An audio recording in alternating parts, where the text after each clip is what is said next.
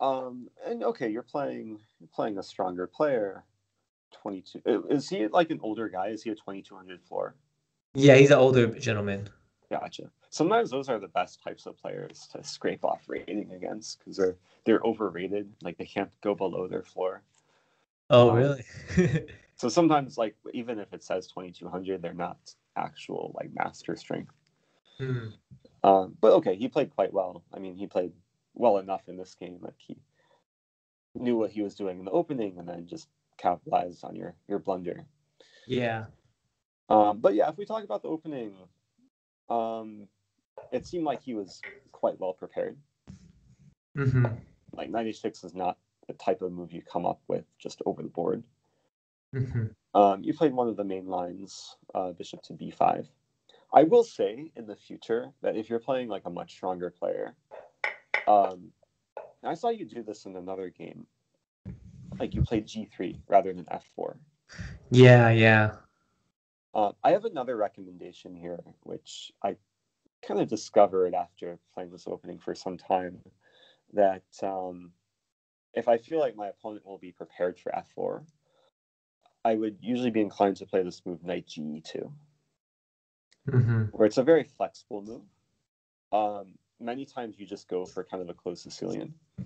hmm Later you play f4, and um, it would be similar to playing g3 on uh, on the third move.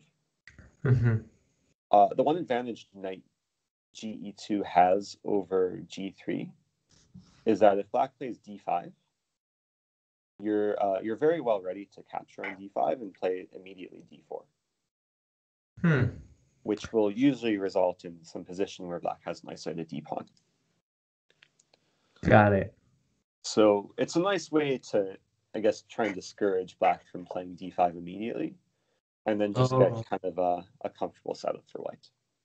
I see. Because black wants to play d5 when you play f4. f4 kind of yeah, it Yeah. kind of encourages d5 just because um like black wants to challenge his center given you've you've overextended a little bit um and of course okay there's there's many ways a line can branch out and there's many good possibilities for white from from this opening but um i mean based on my experience if, if black is well prepared it can be hard to find a, an early advantage for white Got it. Okay, cool. Good. Good to know. So, so yeah, I mean, and if you play knight g2, um, think the main move I've I've run into in the past is knight c6, hmm and I, I like this is still in my repertoire nowadays. Like if I know my opponent plays Sicilian and they play e6 on move two, I'm usually intrigued or, or at least interested in going into this line because I stay very flexible. I'm, I'm also allowing myself the possibility of playing d4 if I feel like I could be tricking them into some open Sicilian that they're not familiar with. Mm. So it's it's one of those things like okay, you, you you're probably not the type of player who would play d4 immediately, but um, sometimes you can do specific preparation for specific players. Got it. Very cool. But what do you play after knight c6? Do you do do you then reveal, okay, I'm playing g3? Or I would you usually start, yeah. So like I, I would only play d4 if I'm comfortable with like going into Taimanov Sicilian. Mhm. Um, but I would usually play g3, like bishop g2 and castling, and then decide like based on black setup if I want to play d3 or d4. Hmm. So you do play d4 or you like you could play d4 later on. Exactly, yeah. And, and there's certain like types of open Sicilians where when you play d4 and you're you're fianchettoed with bishop g2 and, and g3, it can be a very rich position with many ideas for white. Oh, I, I don't think I've ever seen games like that where there's a open Sicilian and the bishop on g2. That's pretty cool. Yeah, like if we the the way to find games is just let's play it out. Like, let's just play the main line. Let's say um, okay, let's say some bishop e7 move, of castling, castling, and then let's say d4. And whenever you play d4, black is pretty much obliged to capture, take back with knight, and this would kind of be the main starting position where you'd want to you know, look through some games. And as far as I understand, like at the master level, white has pretty good results. Um, I think it's a type of position like the, the computer will usually prefer for white too. Like sometimes the computer will find some interesting ideas. Mhm. Um, from my experience, like there's sometimes early like G4, G5 ideas. Um, sometimes it's more positional, like Bishop E3 and Knight B3, and then uh, like some A4 move to stop blacks, like A6, B5 ideas. So it's a playable position for sure. Yeah. Yeah, very cool. It might be a good surprise weapon because I don't think many Sicilian players are prepared against an open Sicilian with the Bishop G2 or, you know, Fianchetto. Exactly, and like to um to reiterate or to maybe clarify, um, there's a lot of players who will play e6 on move two against knight c3, but they'll play some completely different move like knight or for um or some different variation against knight f3. So Mhm. sometimes you can trick them by starting with knight c3, uh, kind of provoking them to play a move they don't usually play against knight f3, and then basically turn it into an open Sicilian later on in the game. Yeah, and they're not used to playing E6. They might be used to playing D6 and the dragon or something. Yeah, and I, I'd be curious, like, uh, if you played this guy again, if, if you can maybe find games that he's been he's played in the past, and see what variation of uh, of Sicilian he plays. hmm Maybe prepare specifically. Yeah, that'd be good. Ah. I actually see he had he's had one game against uh, Nikola Mitkov, who's like one of the most renowned uh, Knight C3 Sicilian players.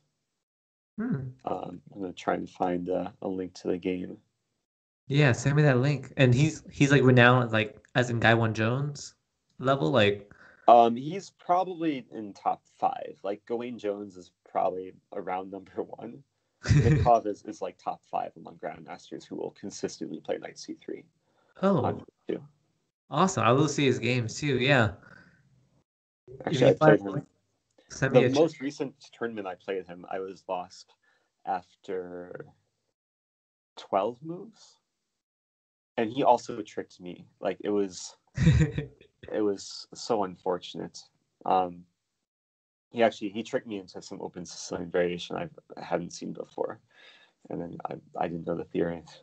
I'll try and find that game. I don't know if Okay, sure. Uh, but I just brought in the uh, the Mitkov Yeah. Galagos game, where uh, like he plays knight f3 on on move three, and then just goes right into open Sicilian. And um, it can be very dangerous if you know ideas in both closed Sicilian and open Sicilian, because then you can kind of pick and choose what to play against certain opponents. Mm. Uh, but maybe th- this is something to play around with, like more long term, like as as you you grow as a chess player. Yeah. it can be effective in, in getting even strong players out of their comfort zone. Mhm. Nice. A lot of psychology involved here. Oh, absolutely, yeah. Um, and it's this is one of my like most favorite like kind of move order tricks in any opening is to like play knight c3, then like knight g2 or knight f3, and then d4. Mhm. Um, anyway, we can focus on what happened in the game because it wasn't I mean, wasn't over so soon. Uh, even though it was, it was over pretty soon. Um, wonder. So okay, bishop b5, very fine move. Um, if you were to get this again, g3 is also quite playable, Yeah. where sometimes the bishop is happy on g2. Mhm. When you play bishop b5, sometimes you're you're committing to trade it off right away. Yeah, I had that a lot when they just play bishop d7 and they don't ruin the pawn structure. Um, but when I play in this position, when you play g3 and bishop g2, is it detrimental that your knight is blocking you and when it should be on e2 instead of f3?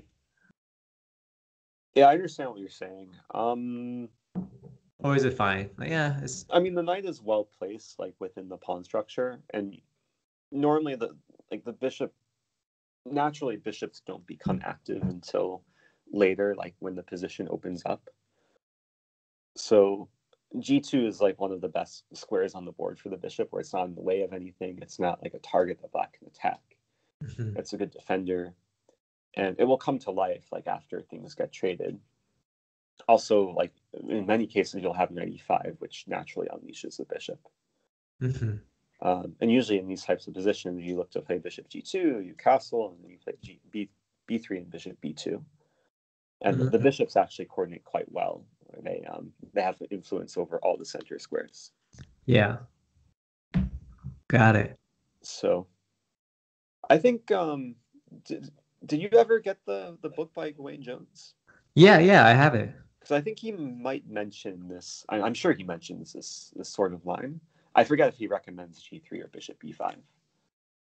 I forget this exact line, but I remember one game he showed like it's common to double fianchetto your bishops. Right. Yeah, I have some vague memory of like looking looking over these lines when I was uh, I was playing this consistently myself. Yeah. Okay. Um, cool. I remember like being impressed with whatever game he showed in in one of these lines. Mm, So it's something to look into. I think I I think I was actually impressed with b3 bishop b2 because when I first started playing this, I was playing like d3 and bishop d2, and I was like I was in awe that the bishop could just develop to such a good square. yeah. Nice. And did I ever show you um, the line with knight f6? Because this is another move to be prepared for. I don't think you showed me this. No. Um, I'll, I'll show it to you. I'm pretty sure I did. Maybe there's like video evidence somewhere in the. Oh, maybe you're right. uh, just to um, to show possibly again, uh, you can take on f6 and then play g3. Um, and you're you're just going for natural development. I had this once in a game where my- my opponent played a very natural looking move, b6, uh, intending to try and neutralize uh, the long diagonal. Uh, turns out b6 was actually a, very significant error, and now it's white to move and um, essentially get a, a really nice position. There's a very strong move here for white, somewhat of a, a multi-purpose move. Um.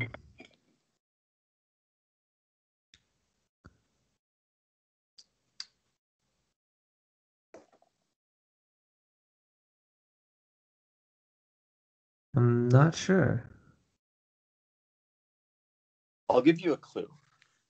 There's two vulnerable diagonals for black. Uh, the diagonal to the king is very vulnerable, hmm as well as the diagonal for the rook, or to the rook. Yes.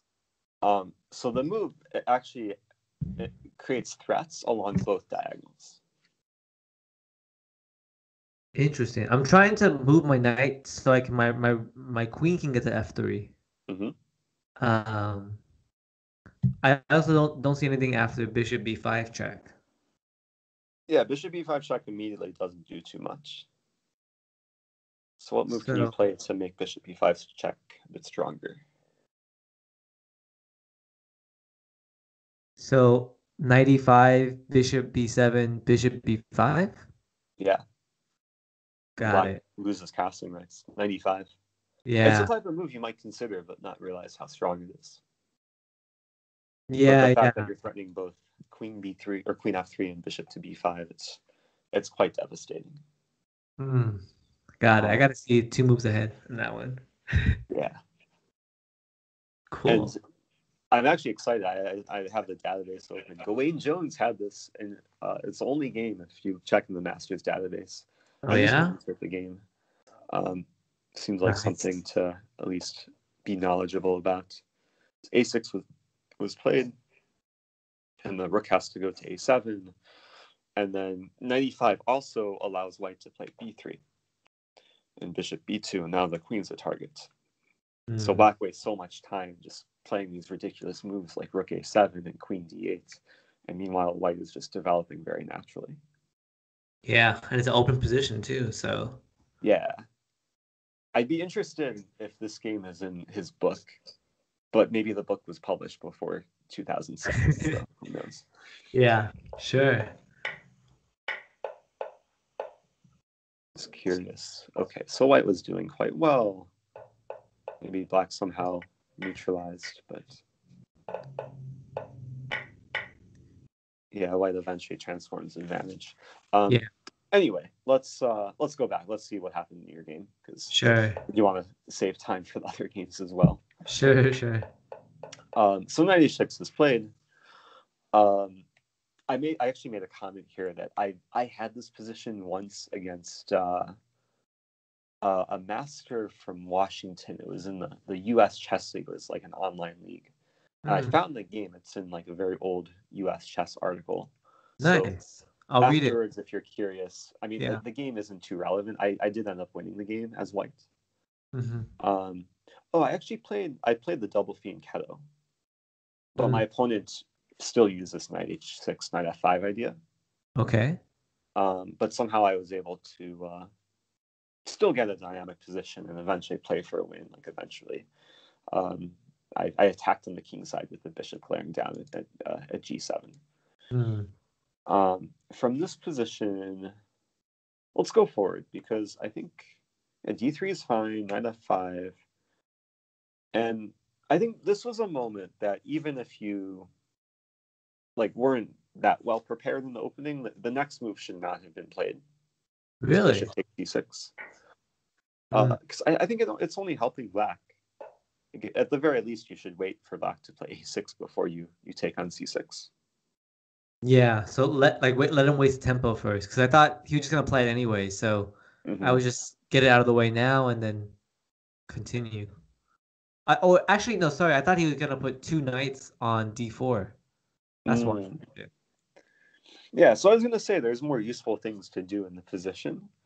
Um, I think the the move to play here, maybe you, you were not so encouraged to play it because I mean, when you look at this position, you want you definitely want to put your bishop on b2. Yeah. But against this specific idea, I think c3 is the way to go. Hmm. Even though, okay, your bishop no longer wants to go to b2 after c3, Yeah. you're restricting the knight. And in many cases, uh, at least in some cases, you would like to play g4 and question the stability of the knight. Um, and meanwhile, your your bishop will maybe stay put until the knight is removed from f5, and then maybe you'll do something like this. Interesting. Also, Okay. you can preserve your bishop when you play c3.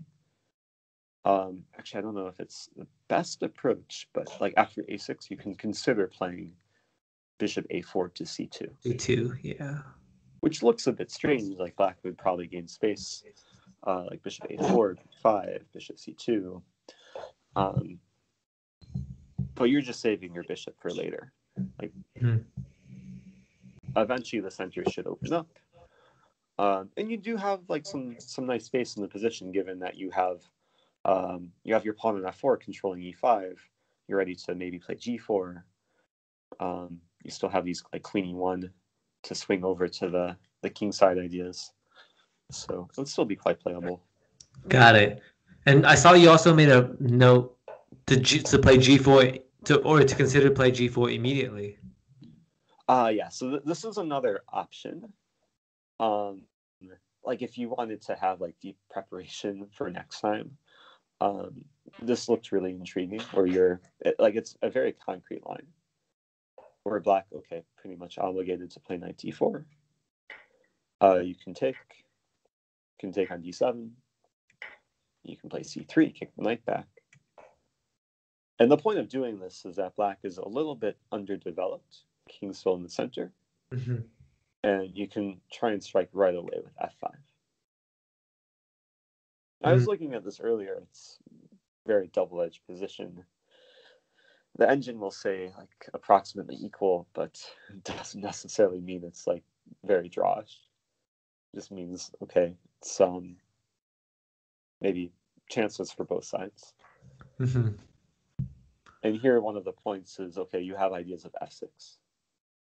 Yeah. So black has to be careful. Um, yeah, black has to be careful taking on f5. Because that like that's opening up the center. Your rook can come into f5. and c5 is attacked. Um, king is a target on e8. Mhm. If the king castles queenside, there might be like bishop f4 move type ideas where the king ends up being stuck. Mm. So it, it's an interesting position. It's the type of move maybe um, you'd play if you're feeling very aggressive or if it's blitz and you want to just keep the initiative in the position. Okay. Good. Good to know. Yeah, I'll So- keep this in mind if I play the bishop b5 line. But the g3 line looks more appealing than when when we talked when you talked about it earlier. Yeah, yeah. I mean, I guess the reason why I'm showing you multiple lines is just to give you Yeah. choices, what Yeah, would be thank more you. comfortable. hmm Um, yeah, I would probably like my, my personal preference is just to play G3, just be a bit more solid. So uh, yeah. So anyway, if we go forward to what happened in the game, I think the at least a psychological problem. You were f- so fixated on what you wanted to do, you forgot about your opponent's Mhm. tactical ideas, Yeah. which was a bit unfortunate because the position is, is clearly still playable. queen e2. I saw some of the lines you gave, and I think black is maybe slightly for choice, but um, especially if you can get your bishop to b2, it would be uh, it would be a fight. hmm So, what was the time control? Like, were you was it rapid or Uh, this one was 55 minutes. So that's not much? Yeah, it's a little bit slower. Day two was two hours. So day one's Gotcha. kind of like the the faster time controls. Yeah, with 55 minutes, um, I mean, blunders will happen more often just because there's less time, and sometimes it's just about blunder checking and ensuring that you're you're playing slowly enough to avoid these careless blunders, Yeah. um, but quickly enough to to stay out of time trouble. Um,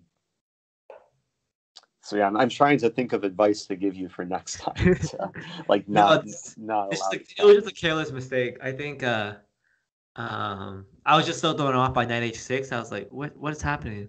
That I completely missed that he had the knight on e3 to be an option. I just never considered that he would do it. Yeah, that's actually a really good point. That when your opponent plays like some unusual idea, you have to be extra careful, like extra aware of the like different types of like tactical ideas that can emerge from from where their pieces are placed. hmm Um, yeah, because if you're so used to the knight being on f6, like, um, when the knight's on f5, you don't maybe realize like there's additional squares the knight can move to. This has happened to me a lot um, in other positions where like I've played h3 and then I can like hop into g3 from f5. Ah, yeah. so it's a good point, like in the opening, just to be extra careful. Like when your opponent plays a new move, you're just kind of take a step back just to to realize their ideas. mm, got it. Um, but okay, hopefully a, a game to learn from, even though it was a short game. I think there were still a, a good number of lessons to, to take away. Hmm So, do you want to move on to uh, the the next game? Yeah, def. Oh, actually, in this game, could we? Can I take a look at a position, uh, with you? Yeah, sure. I can uh scroll it. Yeah, Yeah. go for it. I'll Um, admit I didn't look too much deeper after you lost the exchange. yeah, that's Maybe I totally should fine. have. That's totally fine. Um, I've computer actually thought it was equal here, Mm. Oh, or like negative zero point two, or something. Like it was. It was. Oh, actually, sorry. Um, well, I will say you did a good job of like keeping the files closed, I had to. Um, which is which is a great strategy when you're down the exchange. The rooks can't really come into play. You have d3 defended, like that's your main kind of backward pawn. yeah. Black's Um, so bad. Yeah, yeah. I, in this position, like computing is, is pretty equal, and I was very surprised because in the game I was like, I have to checkmate black or else Mm. he's gonna like just you know open things up and then tear me down. Um, That might have been the the wrong approach. yeah, Not because you misevaluated, mhm, or maybe you did slightly misevaluate. Um, sometimes when you're down material, there's two different types of strategies. mhm. One strategy is to do what you said, like go for the kill, try and like checkmate your opponent, make things really crazy. Um, in this specific position, I think the other strategy would apply. Where you just you just want to hold on, just wait, and see what black is up to. Because it's not Hmm. clear how black is going to make sufficient progress. And sometimes you can even get a situation where black could overpush. Black tries Yeah. to open things up. Um, some move like g6 or something because he's getting impatient. Then, then that can be very bad for uh, for black. Now, I, I do see there is like one main idea for black is to play this a a5 a4 push. Yeah, yeah, which he eventually did. Um, and I, I, I thought about that as well. Like, if if I could just hold this position, like it could, you know, maybe draw. But I, I thought realistically, like, you know, is it, uh, it possible? Can I just sit around all day and then black and just like combat whatever black's gonna do? Because eventually black will break through. That was my thought process, which is why Mhm. I wanted to attack, but I guess what you're trying to say is like maybe you could. There is a way to hold on, and Well, we'll we'll have to take a look at the specific moves. Um, I will say, um, I, I have the engine turned on now just to kind of get a sense of what what it might be oh sure, evaluating. sure, Um, like sometimes the, the engine will change its mind. Like it will say like minus 0.2 here, and Mhm. after playing G4 now it says minus 0.6. yeah, at least for my uh, whatever depth it's it's going at. Um, so okay, black is still probably clearly better, and like sometimes with these types of positions, the computer might misevaluate if there's no immediate tactics. hmm It's just relying on some positional evaluation. Um, let's go forward here because I'm trying to understand what it's saying.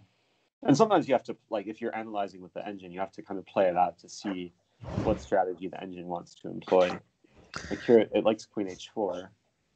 Then I would be curious, like, what happens after a5? It's saying to infiltrate with the queen. And there's ideas of queen g6. Hmm. With a4. Queen. And sometimes it will just come up with some like crazy idea that you would never consider. Um, I'm thinking like, try and like understand it. yeah, Um, it, Like- it does actually have a crazy idea here to to play bishop c1 and then sacrifice on h6, and then somehow get repetition. I think it's giving a takes b3 and bishop takes h6. What? G takes h6. Okay, so not queen e6 check, but you just take back. You're threatening mate in one. Only one move for black to stay alive. And then somehow you have nothing better than just repetition because you're down the whole rook. Oh my gosh, it's giving knight g5 check. But knight g5, it's just still the same repetition. You could just repeat right away. It's even Oh, giving knight g5 in this position is just a draw. Um, that's, that's pretty nuts. I would have never seen that, but that's a cool idea. Yeah. So actually, um, like what I said earlier, may have been kind of contradictory to what the computer is actually recommending. It's recommending to go crazy, and then I guess it's forcing repetition. Um, and sometimes the the way to understand these things is, is just by experience. Of like course, playing yeah. this out with engine kind of now makes you realize oh wow you have you have like all your pieces like even your bishop helping play a role with so much firepower maybe there would be something like even even when you're down material there's sometimes a possibility of sacrificing if you have enough firepower Yeah. Four strong here. Who who would have thought that? yeah now i'm curious what happens after pawn takes a2 because black is ready to make a queen and there's no way to stop it i don't have the engine turned on anymore the engine was saying draw Ooh, i think i see the move i think there's only one move Knight takes there's a few moves check? No. and bishop takes f6 Yeah. Um It looks like you allow him to get a queen. and you just take on g7 Yeah, it- that's what it looks like, and the king runs away to like h4. I, I don't know. Just i was thinking maybe you could like put the king on g2 play knight f2 oh, I see. like survive somehow that way Um, I think there's an even simpler move here. Now, okay, now I'm trying to calculate. Oh, it's probably still drawn. There, there's kind of a nice, okay, so-called invisible move. hmm Um, I'll show you because I, I don't know if it's right. I don't. I'll check with the engine afterwards, but I think it's Bishop C1, where you're blocking the check and you're threatening Oh. mate in one. Oh, that's I nice. assume this is a draw after Rook F8. Let's see. Oh no, White is winning. What? What? Ah, because there's there's Queen H7 check. So after Rook F8, Queen H7, Queen G6, King G8, And then Rook H7, Rook H7, yeah, Rook F7, Rook F7, Queen Uh, H5. Queen H5, yeah, force mate. Insane. That would be amazing if you won this game like this. oh my goodness, I would, I would like jump up and down or something. I, that that would be crazy. And if uh if bishop d6 after this oh still queen h5 the same thing yeah because g6 is just rook h8 queen h7 Dang, nice. Okay, so lots of lessons here. You could, like, maybe it might be use your imagination to force a draw. That could be really cool. yeah yeah it, it, it take it takes a lot of imagination for uh this type of play like just to allow black to like push the a pawn all the way down it's just a little too slow for black interesting Okay, nice. rates. Nice. I'm ready to to do the next game. If yeah If yeah let's move on if you're good. For sure. the next one was against oh that was the next one was against manas do you know Wow. manas uh, I don't know him personally. No. Do you? Um i kind of i know him virtually so he's he's a streamer he has a twitch channel Mm-hmm. He works if at were- Twitch. Yeah. and he works at Twitch too. Yeah. So we've we've played a few games on the chess, and I I've played close to Sicilian against him. I'll have to um. I think the very first time I played him, I actually lost to him Oh in the Sicilian. wow. Um, it was Well- devastating. Oh no. Well, and it was even more devastating because he posted his win against me on Reddit, and it got it was like on the front page of like the chess subreddit. oh, like my win against the international master. Uh, something like that. Yeah. Yeah. But it, I mean, it was good publicity. It was just um, was unfortunate. That was our first game. Um, okay, cool. I'm glad you know him. Yeah, I was looking at some of his games and stuff, and um, Yeah, and he's the type of player. If you play him again, I mean, you'll want to like look at his uh, online account because he seems like it seems like he plays um like the same openings online as he does in tournaments. yeah, yeah.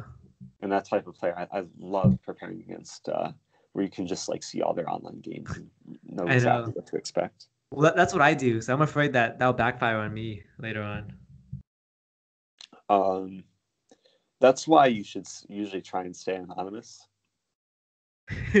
Um, for me, I've I I just play different things online than I do in tournaments, so it's usually not a problem. But if I'm like training seriously online, I'll play.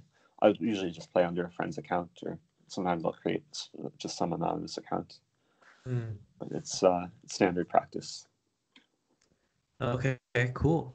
Um, So anyway, um, yeah. we can go forward with the opening. One thing I'll recommend that if you get like this exact same position next time, you can Mhm. play bishop b5. Uh, ah, this one you can play bishop b5. Um, it's kind of like that line I showed you in the English. Yeah. Where, like, remember, if they allow you to take and double their pawns, it just leads to a very simple position for white to play. And if bishop d7? If bishop d7, then you're still probably going to take, but then you wait for them to play a6. So you don't take immediately. Got it. You castle. Let's say they play a6, then you take. Bishop takes. in d3. And this is a type of position you can have against in English where, okay, you have one less tempo if you're black, but still all the same ideas with um, queen e1, queen h4, f5. Um, Mm-hmm. and usually the light, light squared bishop um, is better being traded early In if you're going to play Grand Prix then like just sit, sitting on g2 and not contributing to attack. Mm. And you got rid of Black's Knight, which in, in many cases will come into d4 where it's a bit annoying of a piece. Interesting. So, yeah, it seems like the the Grand Prix and Close Sicilian, they're they're like sisters. Like they're so, really similar, but Mhm. there's some nuances that are very different. Like, There's some differences. yeah, And I, mean, I should mention like putting the bishop on g2, it's, it's still very playable. It's just a different type of position where usually the attack is a bit slower. yeah, got it. So something to consider for uh, for next time. I'll also say bishop c4 is playable. Cool. Um, I think if you check out the games of Mitkov, like that's the one player. Like if you do a search for Mitkov, um, like chessgames.com, hmm and then Mitkov, you should know the the eco code for closed Sicilian is B twenty three. Yeah, it. five. Mm. hmm Um, so I'll send, I'll share the link in the study chat, and hopefully this will be a good selection of games to uh, to check out. Cool. Thank you. So, yeah, no problem. So anyway, let's let's see what happened in your game because I mean you you played really nicely. Like you got crushing position, and then at some point things collapsed. Yeah, I, I had a nice position, so, and I'm very fort- unfortunate that um, one mistake kind of held me back a little bit. Right. Um, yeah, let's go forward here because I mean overall I like the way you played. You were very patient. He was playing some strange idea like this g6 knight d4, which in hindsight I don't think it was effective at all because he didn't play knight d4 so early and he allowed you to play c3. And then it's already just bad for black. Yeah, Um, I, I he didn't know what he was doing there. He Yeah. he admitted to me after the game, but I'm like, okay, sure. I mean, which goes to show like you got him out of his comfort zone like the uh you, you won the opening battle. Yeah. So this is ideal for the close Sicilian, kind of like this setup. Of course, yeah. Where I mean, no pieces are getting traded after c3. Mm. Um, if you play knight ed4, it's slightly better because at least like c3, and then let's say he takes on f3 or, or takes on e2. Um, now his knight is no longer on e6, so you're not get, getting tempo with f5. Mm-hmm. Oh, it's slightly better for him. It would be slightly better for him, yeah, to trade off. Oh, interesting. Yeah. I thought it'd be better for me too, because my queen gets to develop with tempo, and Um, I don't know if that's too relevant. okay, got it. Got it. Um, I So black- something, yeah, feels good. It- It sounds like Black wants to trade more pieces in this setup because of the attack that White wants to do. Yeah, it's weird, but like the not on f6 or e6, it sometimes favors white because it's used as fuel for the attack. Like you can expand while kicking it around, Yeah. and it's not necessarily a great defender. Okay. Cool. Um, now, okay, this would still be a fight. You still have your your attack. I mean, black could probably play b5 and focus on some kind of queenside play, try and distract you, but um, it's still preferable for white. hmm Uh, but yeah, if we go back and see after c3, this knight is just so sad on f8. Even though it's kind of a defender, um, okay, things kept looking to be good for you. I like knight f4, knight d5. This is all very nice. Um, you provoke f6. Uh, let's just keep going to the critical moment. There's Sure. a move here, g5. I don't know if you considered this, but Oh, I, I I saw it after the game, um, and I was like, wow, that would have been so good to play. yeah, it's still a bit complicated because you're you're allowing bishop takes h3, hmm and then it's a situation where both black and white are trying to attack on the king side. But I think still the the lines should favor you. Like you take on f6, you play rook takes f6, ready for the double up. Yeah, it looks good. Um, yeah, white is clearly for choice. But uh, okay, you play g3. This is also very playable. Uh, and then knight f5. I was curious, like, how much time did you have around here, like when you played knight f5?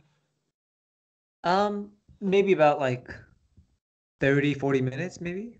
Oh, okay. So you had a lot of time. Yeah, a good amount of time. And I should have taken more time at this point. Yeah, this is a very critical moment.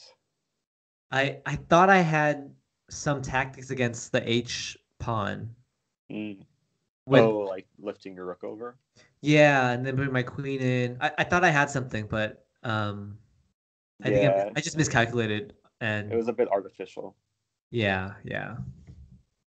Um, I think maybe you also overlooked the fact that, like, when you take with rook, black can get this setup with uh, eventual e5 knight f4, Yeah, I didn't see that at all. um, which is something like when you're black, you'll be kind of inclined to look for this type of active play, this nice kind of positional uh, creation of the outpost. But when you're white, it's I know it's easier to overlook because Mhm. you're not as involved with your opponent's ideas. Yeah. So it's another moment where you just have to be aware of what your opponent wants to do. Mhm. Um, but going back here, I mean, in hindsight, even not in hindsight, it was just clearly better to take with the pawn. Oh man, yeah. I, now I the, knight can't establish an outpost. yeah, I, I saw him go to knight e5 Mhm. and I thought maybe here if I would have pushed d4, my pawn would be isolated and that'd be Mm. bad for me. But That's the least of your worries. That's my- you're more, yeah. more focused on it, like clobbering the, the black king. There's no time to be worried about an isolated pawn. that's hard for the opponent to attack. yeah. Um, Actually, you, you can probably start with rook b e1 here, and then then go for d4. Mm. And the e pawn is much more of a headache. It's just completely backwards. You have full control over e6, ideas of eventual bishop e6, also lingering ideas of g5. Yeah. If the Oh. knight ever tries to like go back to c6, you can also consider just taking it with the bishop, and then win the e pawn. Mhm. So this would have been amazing for you. And like the, the idea of, of tripling up on e file is just so hard to stop. So you're almost guaranteed to win the e pawn. Mm. Yeah, that would have been so good. So so good. Yeah. Uh, yeah, this is one of those like experience type things. If you show this position to like a, a strong master, they're they're gonna just intuitively take with the pawn because the the opening of e5 is just so valuable. hmm Yeah, I think I was trying to push something that wasn't there, um, and that I think this moment like lost me my best advantage because now it's just pretty dead equal.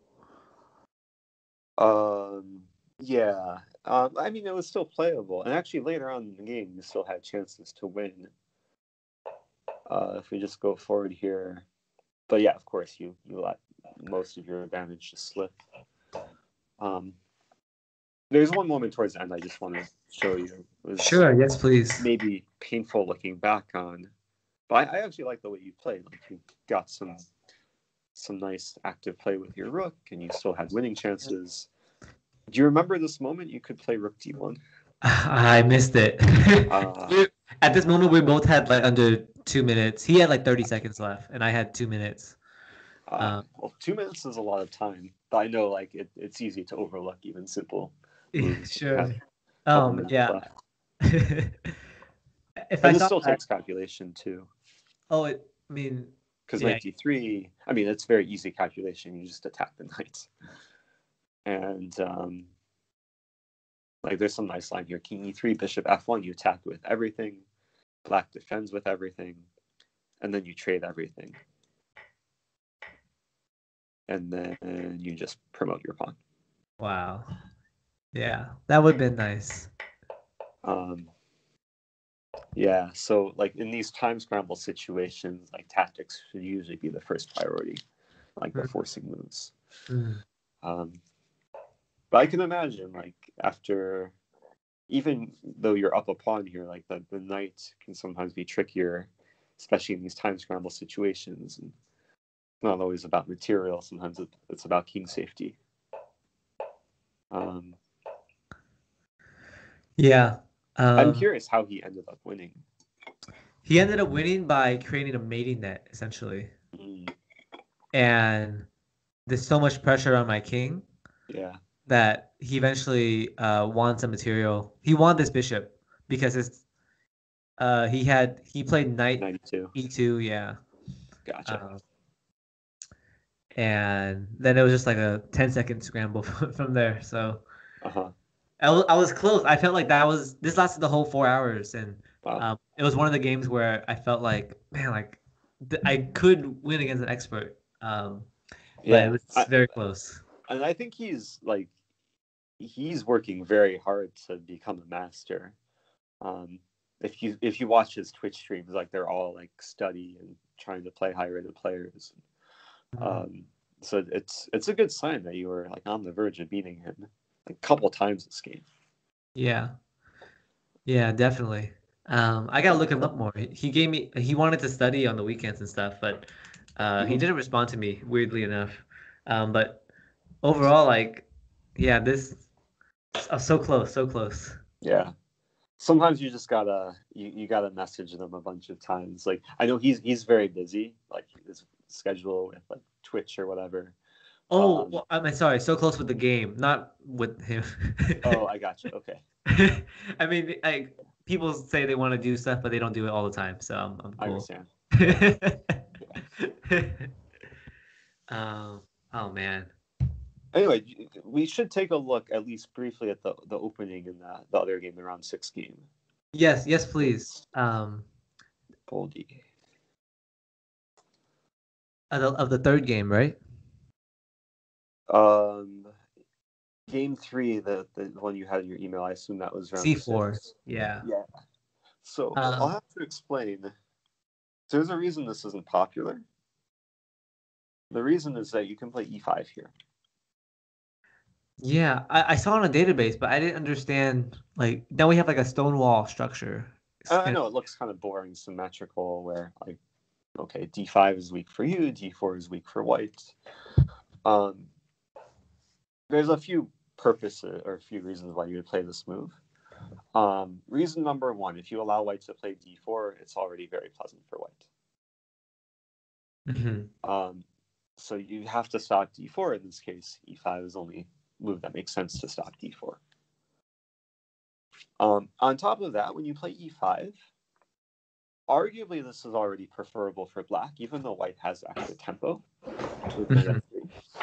The knight isn't exactly that well placed on f3 in this sort of structure, where a very common pawn break is f5, or in white's case, f4. So it's going to take white additional time to remove the knight and play f4. Meanwhile, you can get a more harmonious setup where you'll go for like g6, bishop g7, knight e7, castling, and eventually f5. Really? You think count the bishop here? Um, well, you Wow. don't want to block. You don't want to block your pawn. I mean, maybe you could play bishop e7, f5, and f6. maybe that would be another option. Yeah. I, well, I've never seen this before, so I'm just Uh-huh. looking at it from fresh eyes. Like, whoa. Interesting. Um, I'm a bit curious, actually, what masters do. Um, knight c. Okay, knight c6 is maybe the most flexible move. Like you start with this because you know your knight wants to be on c6. White plays d3. Yeah, Mhm. most played move here is g6. G6. Yeah. Keeps the king safe. The bishop is naturally not that effective, like wherever it goes in the structure, especially because like your center pawns are on dark squares. hmm So when you play bishop g7, it's more about king safety. Maybe like having some influence over d4. Like if you play knight d4, Yeah. support from the bishop. g6 can also support f5, or in some cases you might want to take back the pawn. Hmm. Got it. Um, Yeah, it seems like it's not a Sicilian anymore. It's it's a different game here. it's a different type of opening. Um, this is, uh, I don't know if this exact system has this name, but uh, this sort of setup with these pawns combined with like g6 and bishop g7, it's called the Botvinnik system. Hmm. It's actually an opening that can be played for white. It's one of like these system-based openings where white plays in English. then white could play the Botvinnik with this sort of move move uh, like configuration. Hmm. And usually like d3 is played, not d4. Yeah. and an opening I've, I've toyed around with from the white side, like when I was a bit younger. Um, it's just something like if you're lazy and you don't want to study openings and you want to play something fresh, it's it's not a bad choice for white. Yeah. But, Okay, uh, good. In this case, it's very playable for black. Hmm. Got it. Nice. So yeah, it's good to know next time because like after knight c6, d4, like it's already nice for white. Yeah. And I was like, um, I'm out of book here. Um, And then you play queen b6, which is such a rare move. Uh, I mean, you could play g6, and it would be. Uh, this is actually kind of a mainline accelerated dragon. Mhm. Um, not the most reputable line, but very playable if, if you know what you're doing. But yeah, next time you should just avoid this. Yeah, I'll avoid this completely. Yeah, thank Yeah. you for this. I appreciate it. E5 and then the close Sicilian and then knight h6 ideas. You gotta um, wait until they play a6 before trading out the bishop. Uh yeah, in that other game. Yeah. Yeah. Watch out for uh, I, actually, let me make one one correction to that. You Sure. can trade on c6 when your bishop's on d5, if they have to take back with the pawn. oh yes, that's true. But if their bishop's on d7, you wait for them to play a6. Hmm. Okay, got it. Um, yeah, I'm gonna look up more games with this uh Mi- Mitov. Uh, what is it? Mit- Oh, Nikola Mitkov. Mitkov. Yeah. I'll look up his games too. Yeah, there should be a good number. Um, I'm I'm browsing through here. He's it's actually a very good number. Yeah, it's a lot of games. Okay, about 48 games with with these eco codes. So he's played this a good amount. Well, fantastic. I'm trying to think of other players between Mitkov and Gawain Jones. There's another player. Um, and sometimes this is good if you're just looking for inspiration. Yeah. Um, the other player I'm thinking of, he's probably the, the weakest out of uh, of these three, but uh, Mhm. his name is Sunil Weeramantry. Hmm. Have you heard of him? I have not. No. Okay, he's Hikaru Nakamura's stepdad. Oh. Interesting relation. Oh, I, I I know of him then. Yeah. Yeah, he's pretty well known in the chess world. He has some position with like U.S. chess, I believe. Pretty renowned coach too. Got it. So I'm sharing another link with his games in uh, in Knight C3 Sicilian. Got it. The All right, very well, first time I ever saw Knight C3 Sicilian, I got smashed by him. Really? So devastating. I, I wish I had that game. It's on my like old old hard drive or something, but he, he Mm. completely destroyed me. So Dang. I'll have to, to look look back. okay, I'm excited to dive in. Thank you. yeah, for sure.